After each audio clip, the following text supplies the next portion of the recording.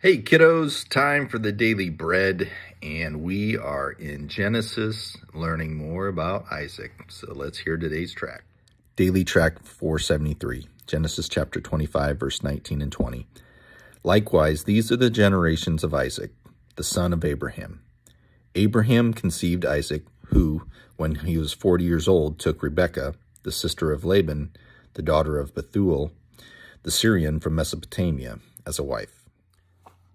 Kids, so today we're setting the table for the next few tracts. Um, we're, we're kind of going to lay out um, Isaac and his family.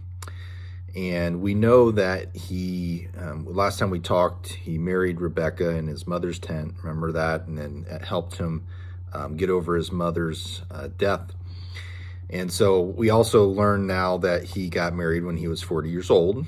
Okay, so he's a, a bachelor for many years and um, and uh, at that point, um, you know, they'll be looking to start a family, obviously, and and to have kids themselves, and so that's what we're going to learn about is the process and uh, some of the troubles they go through uh, over the next few tracts, and uh, we'll learn about um, you know their their kids.